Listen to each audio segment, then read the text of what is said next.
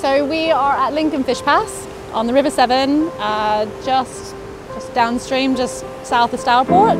The Unlocking the Severn project has actually opened 158 miles of, of traditional habitat for the Twaite shad. We started here in February um, 2020 and with a three week break for COVID, we finished in June 2021. We expected this site to be the most difficult because obviously we're adjacent to about 50 holiday cottages.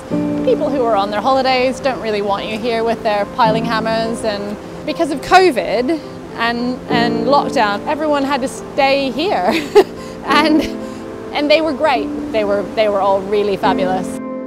The team that's been on this project is amazing.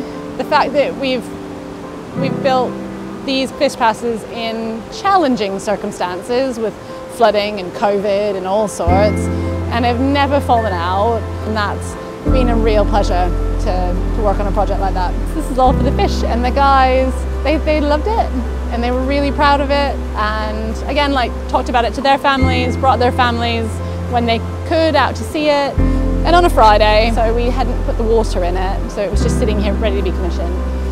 One of our one of our one of our um, employees was stood actually here and just waiting for the penstock guys to fit the gearboxes on the on the penstocks, and he noticed a big shoal of fish sitting at the downstream of the fish pass, and when they opened the penstocks, they just swam up through the pass like they were just waiting. It was amazing that a bunch of fish were just sat there like, oh yeah, and they just headed up the river. It was, ama it was amazing.